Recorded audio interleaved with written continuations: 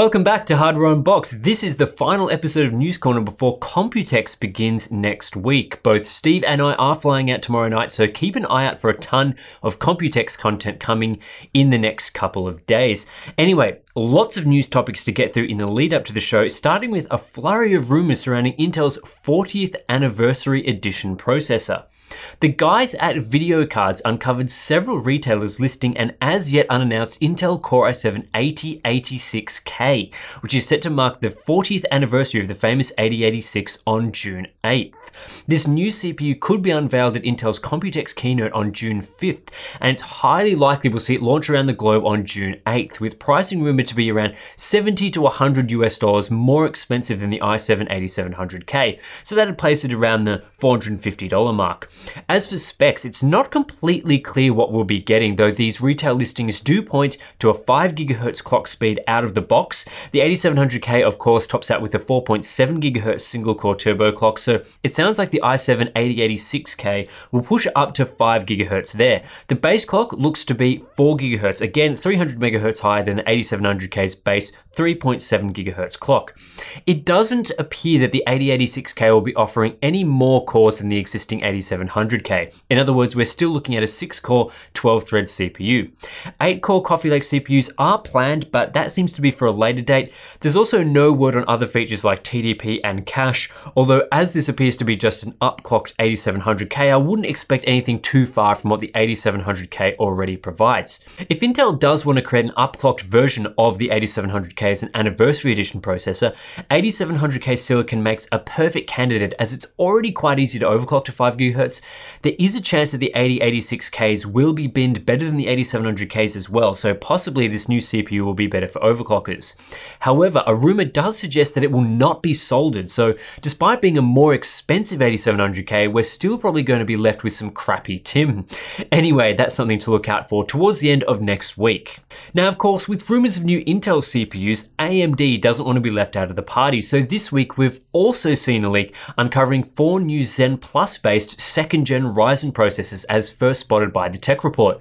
This leak comes courtesy of ASRock, who published a new CPU compatibility chart for their AB350M Pro 4 motherboard, detailing the four previously unheard of processors.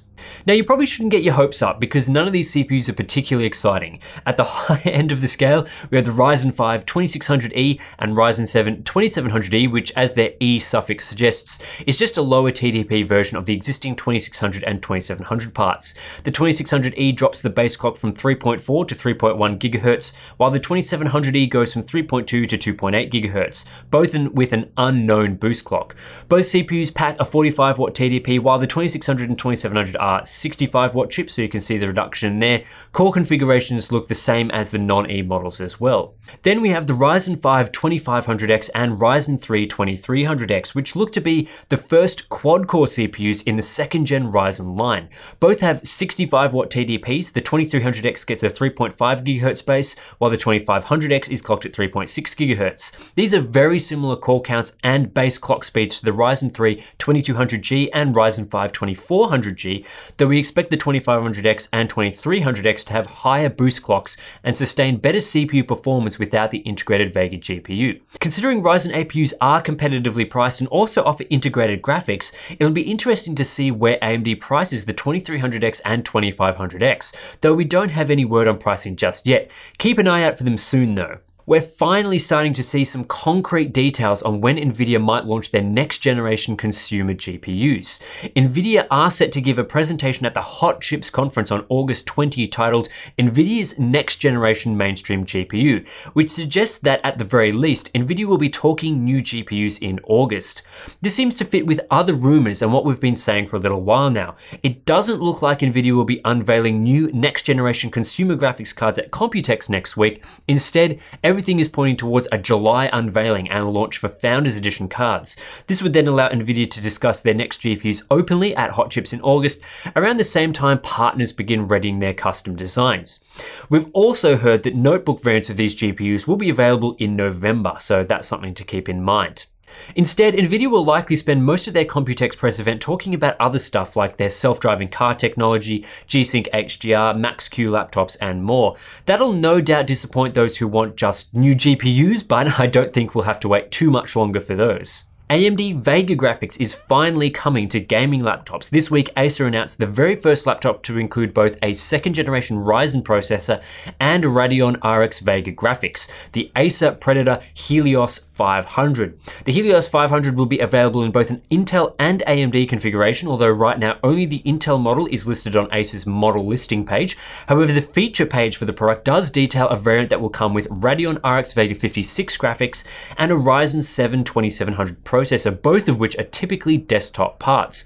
However, AMD did announce Vega mobile graphics at the start of the year, so it was only a matter of time before a Vega GPU showed up in a gaming laptop. What's not clear at this point is whether Vega 56 in this mobile device is a fully fledged desktop card or whether it'll be cut down in some way. It'd be disappointing if AMD named their mobile GPU Vega 56 only to include fewer compute units than the desktop Vega 56, so it seems unlikely they'd cut down in that area.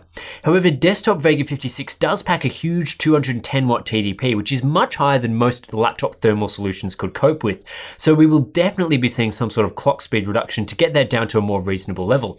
After all, the Intel model packs an NVIDIA GeForce GTX 1070, which has a mobile TDP well below 150 watts. The other interesting part is, of course, the Ryzen 7 2700 processor. We've seen full desktop Ryzen CPUs in some laptops before, so it seems the Helios 500 will be another laptop to go down that path. The Ryzen 7 2700 does have a 65 watt TDP, which is a bit higher than the claimed 45 watts for the Core i9 8950HK used in the top end Intel model, but I expect actual power consumption to be similar for both of these models. Other than the CPU and GPU, the Helios 500 includes a 17.3 inch 1080p display with the 144Hz refresh, and you get either G-Sync or FreeSync with with it depending on whether you go NVIDIA or AMD.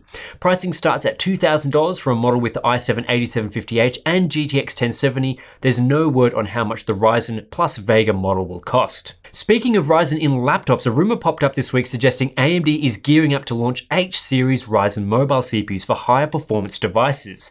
These H-series parts would feature the same 4 cores and 8 threads as the existing Ryzen U-series SKUs, but push up to much higher frequencies thanks to a higher TDP. In other words, Ryzen H series will do pretty much exactly what Intel's H series already does.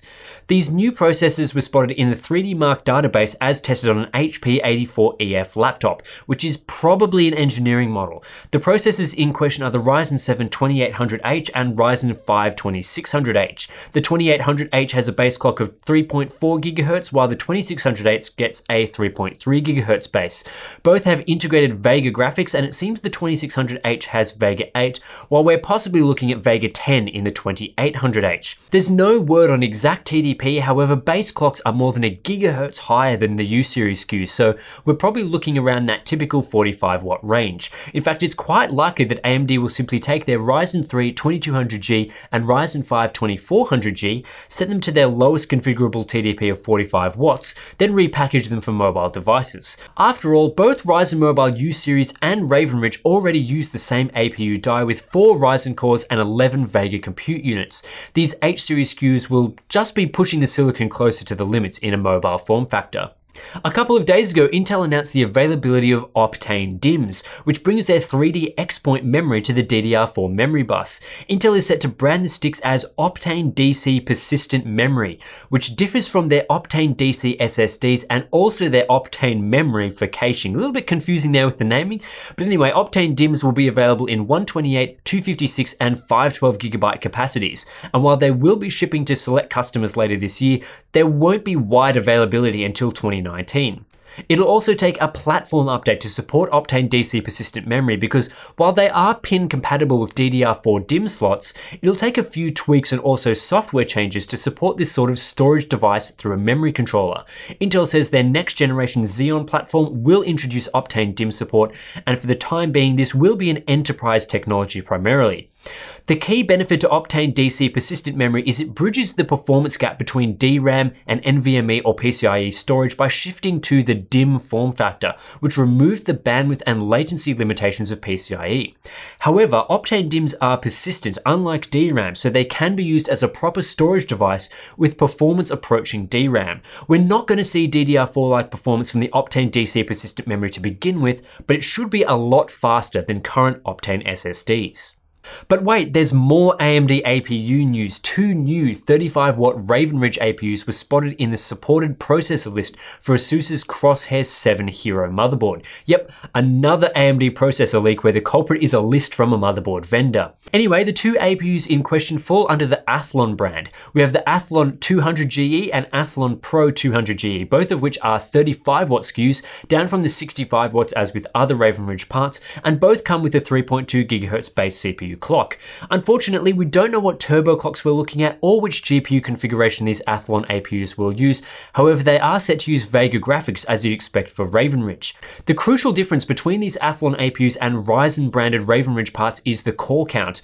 Other Raven Ridge APUs are 4 cores and either 4 or 8 threads, while the Athlon 200GE and Athlon Pro 200GE are 2 core 4 thread parts.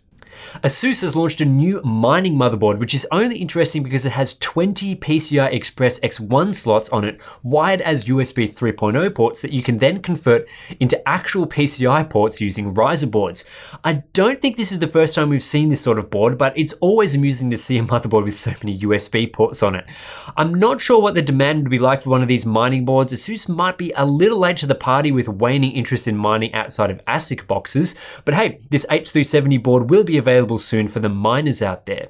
Patriot has launched a new selection of Viper RGB DDR4 memory supporting speeds from DDR4 2666 CL15 all the way up to DDR4 4133 CL19 at 1.4 volts. The RGB module integrated into the heat spreader looks pretty cool and it's nice to get a wide range of speed options with RGB support. All Viper RGB memory supports both Intel and AMD platforms and you'll also get RGB sync support with utilities from ASUS, ASRock, Gigabyte and MSI. The modules are available now through Amazon with pricing ranging from $180 for a 16 gig 2666 kit to $280 for the top speed 16 gig 4133 kit. I thought I'd round out this news corner with a selection of game news from the past week or so, just in case you missed it. With E3 coming up in the next few weeks, there's been a fair few teasers for games. Just today, we got a very short teaser for the next Assassin's Creed game from Ubisoft, titled Assassin's Creed Odyssey, which appears to be set in ancient Greece. Then a few days ago, we had the teaser trailer for Fallout 76, which is reportedly a survival multiplayer game. I'm sure fans that wanted another single player RPG will be a bit disappointed with that revelation, though again, we can expect more news at E3. Then we also had PUBG Corp suing Epic Games over Fortnite's Battle Royale mode, because of course that's going to go down well. Apparently, Fortnite infringed on PUBG's copyright and plagiarized the game mode. Now that Fortnite is a bit more popular than PUBG, I reckon that's a bit salty from the PUBG guys, but it'll be interesting to see how that court case goes. Anyway, that's it for this week's News Corner. We'll hopefully be back next week with a News Corner episode from Computex, so stay tuned for that. Aside from that, subscribe to make sure you don't miss these episodes that typically go out every Friday, and I'll catch you in the next one.